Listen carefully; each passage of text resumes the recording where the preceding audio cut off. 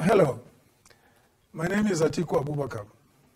I'm speaking to you today on Facebook Live as I want to reach as many of our young people as possible as I have an important announcement to make about the future of Nigeria.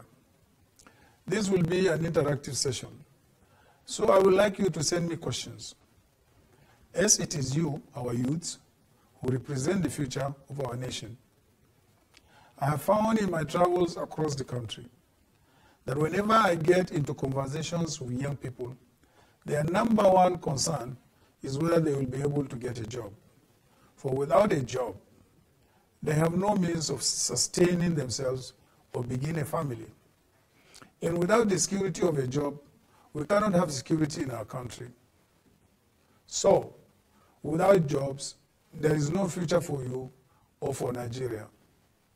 And I also know as a parent that the older generation is also concerned about jobs for their children, and too often today for themselves as well. Creating jobs is something that I know about as I have created over 50,000 direct jobs and 250,000 indirect jobs in my own state of Adamawa. And I also know how the government can help create the right environment for business to create jobs. When I was vice president in 1999, I was responsible for liberalizing the economy, particularly the telecom sector, which enabled us to increase the number of people who could access a phone from less than 1 million then to over 100 million today.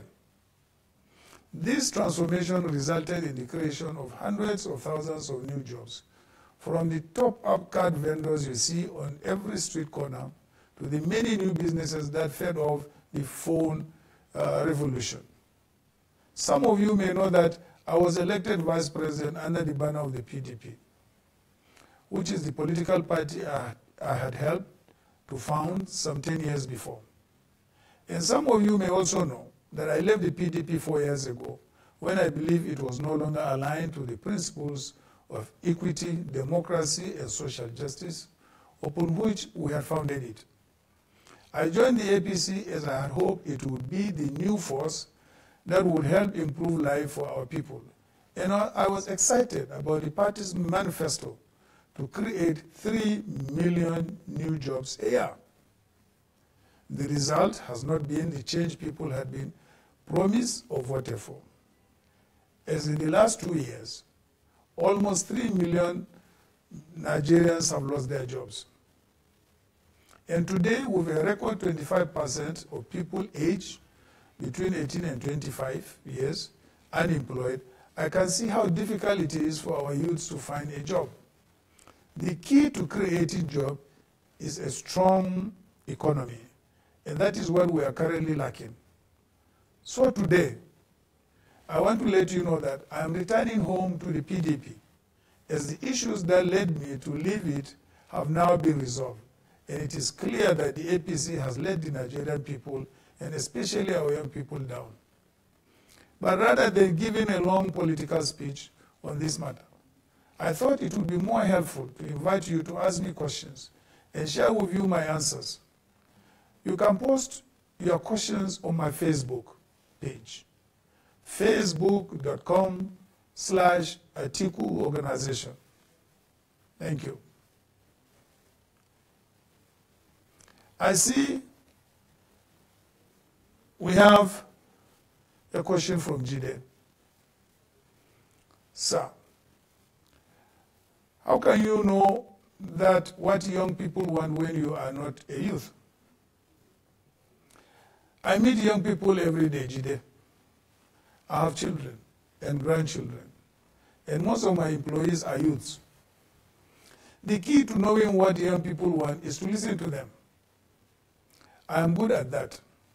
Sometimes when I am on the phone with my kids, they ask me, Are you still there?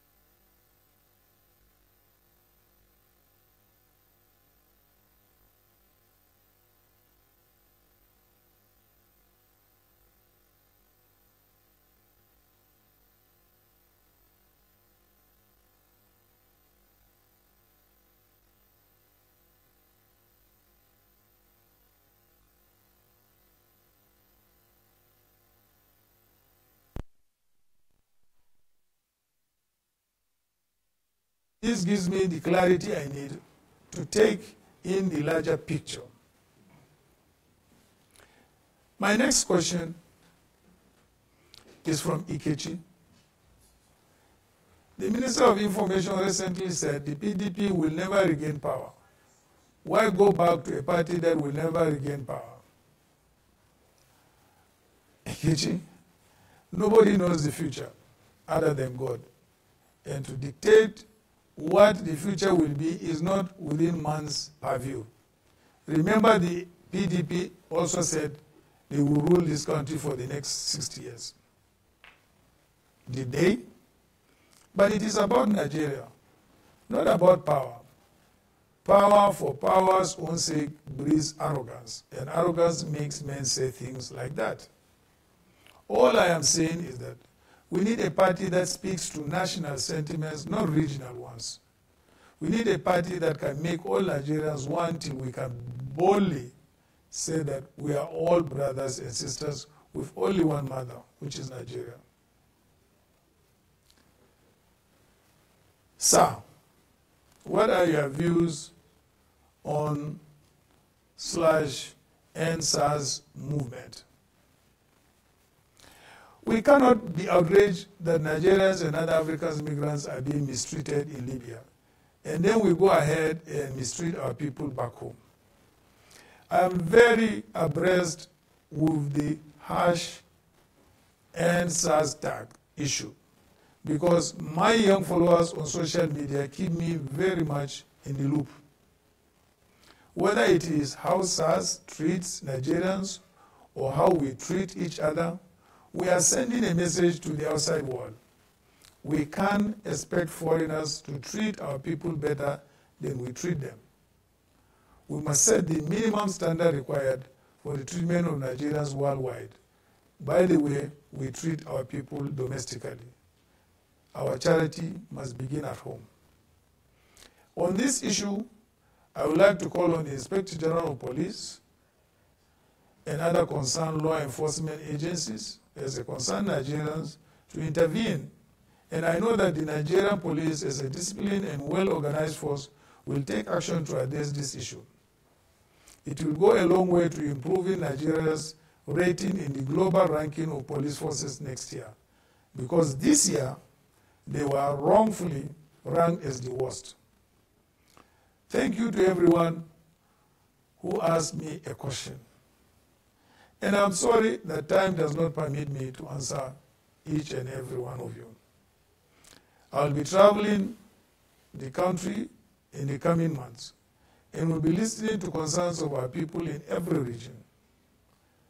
I came from a very humble background and thank God for the opportunities that Nigeria has given me to build a network of successful businesses. I'm dedicated to Nigeria where everyone lives in a country of opportunity, where there are no limits to what they can become. Good afternoon, and I thank you very much indeed for listening. Bye bye.